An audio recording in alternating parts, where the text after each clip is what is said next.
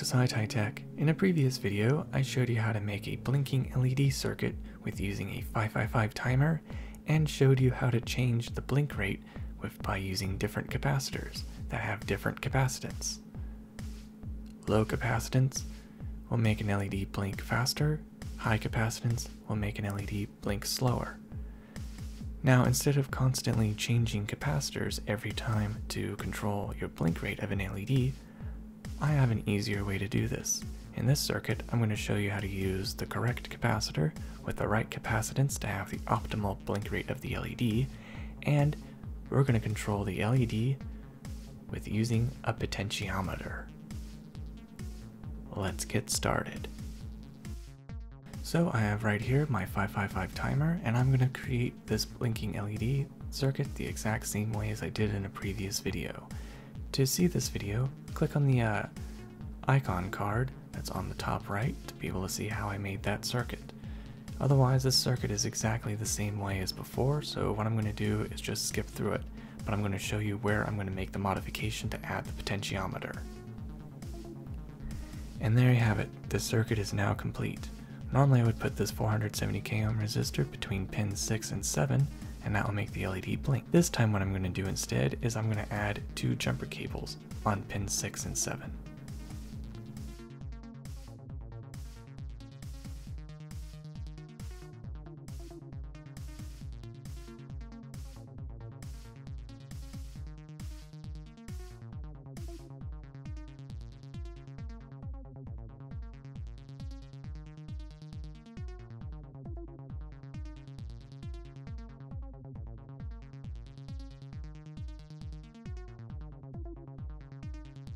Now I have placed my jumper cables on pins 6 and 7 in the place of the 470k ohm resistor.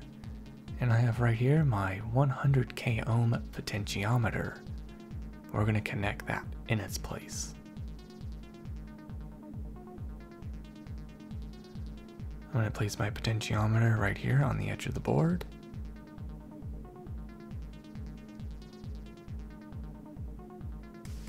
And I'm going to connect one jumper cable from pin 6 to the center part of the potentiometer, pin 7 on the other end of the potentiometer, and now the circuit is complete.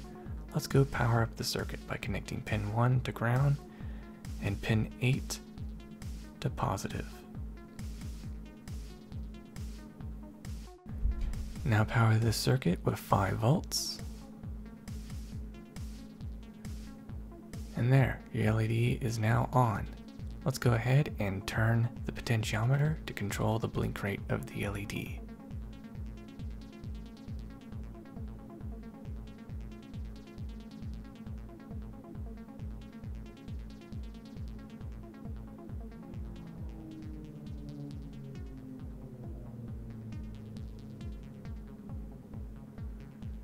It's very hard to tell how well it's blinking on camera, again because of the frame rate on the camera is too slow.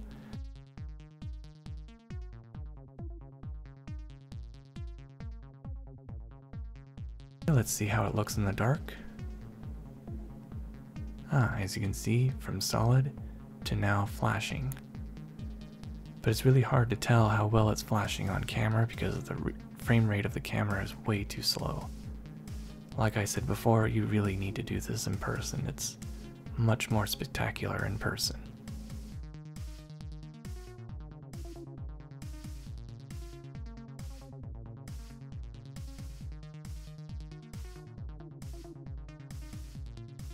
Now that's all cool and all by using an LED and making an LED flash, but how about we try it with a speaker this time? We can see what the square waves look like, now let's see what the square waves sound like.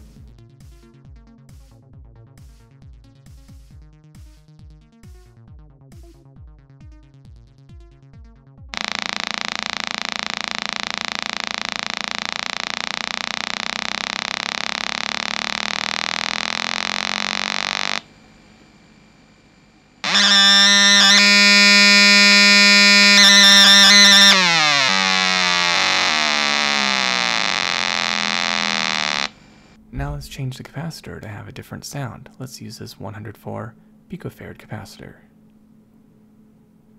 And let's see how that sounds.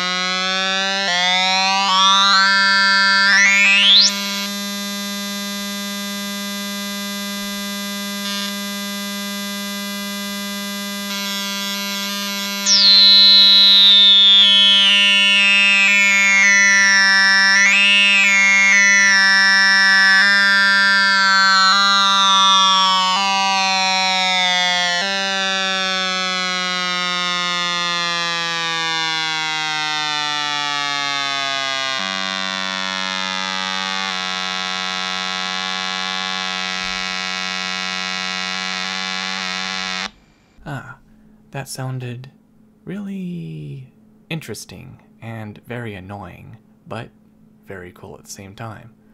Now let's just see what the LED looks like by using that little 104 picofarad capacitor and see what happens if you use that.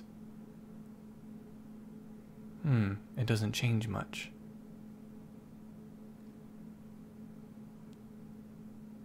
This is why you need to use a slightly bit higher capacitance to have a more interesting flashing LED. A lower capacitance actually works better for the speaker to have a better sound. So there is a difference with using a 1 microfarad compared to a 104 picofarad. Well, anyways, let's just go back to the speaker again.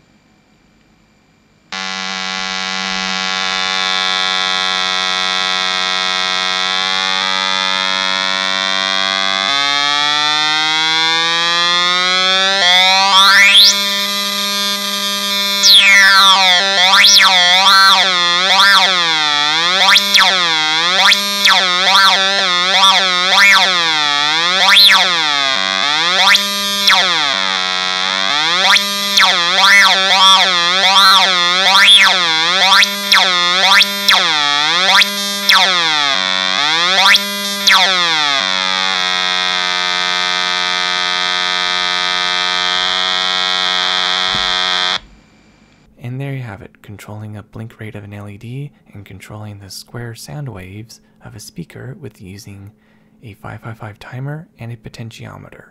A good way to make a strobe light and a good way to make an annoying musical device. Thank you for watching SciTye Tech. I hope you learned something new and don't forget to like and subscribe for more SciTye Tech videos. Till the next tech, goodbye.